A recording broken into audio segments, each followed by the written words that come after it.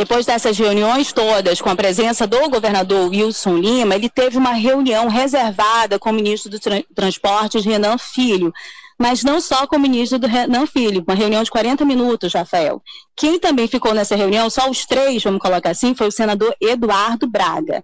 Esse é um bastidor interessante para a gente colocar aí eh, a nossa visão sobre é, as relações e o desenvolvimento dessas conversas políticas, grupos políticos, em relação ao estado do Amazonas. Essas duas, esses dois nomes estavam disputando é, e aí, da, da cabeça para baixo, tudo era canela, né? Naquela ocasião, o governo do estado do Amazonas, há, há meses atrás, né? Então, há um ano atrás, mais ou menos. Então, são essas duas figuras que, depois de toda essa agenda de reuniões no, no em Brasília, né, com o governo federal, é, se isolam em 40 minutos, sentam para conversar com o ministro dos Transportes, que é do partido do, do senador Eduardo Braga, né, que tenta, é uma liderança importante do MDB. Esse é um outro bastidor que eu acho importantíssimo.